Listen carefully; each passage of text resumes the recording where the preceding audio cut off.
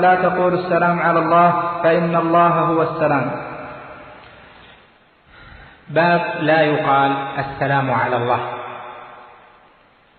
ومناسبة هذا الباب للباب الذي قبله أن ترك قول السلام على الله هو من تعظيم الأسماء الحسنى ومن العلم بها. ذلك أن السلام هو الله جل جلاله والسلام من أسمائه سبحانه وتعالى فهو المتصف بالسلامة الكاملة من كل نقص وعيب وهو المنزه والمبعد عن كل آفة أو نقص أو عيب فله الكمال المطلق في ذاته وصفاته الذاتية وصفاته الفعلية جل وعلا.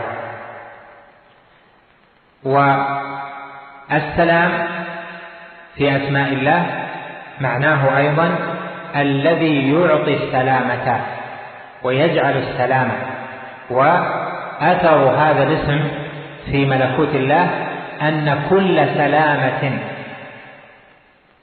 في ملكوت الله من كل شر يؤذي الخلق فإنها من آثار هذا الاسم السلام.